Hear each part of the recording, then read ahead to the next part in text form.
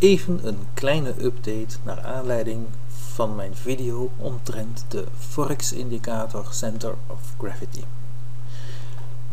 Zoals in het weekend aangegeven, heeft de kaars, deze kaars hier, de onderste groene lijn doorbroken en is toen geëindigd.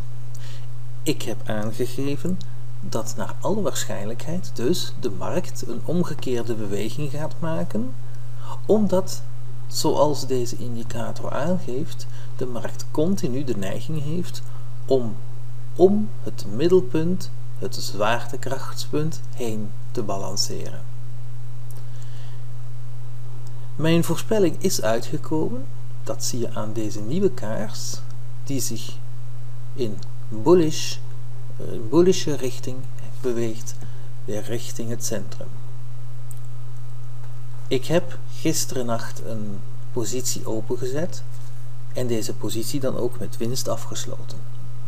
De nieuwe positie die je hier ziet, dat is voor morgen, of eigenlijk straks al. Want ik verwacht dat deze bullish candle zich doorzet in de komende dag en misschien zelfs dagen, tot zij weer minimaal de centrale blauwe lijn zal naderen. We gaan dat in elk geval goed opvolgen en ik deel het in een nieuwe video met jullie.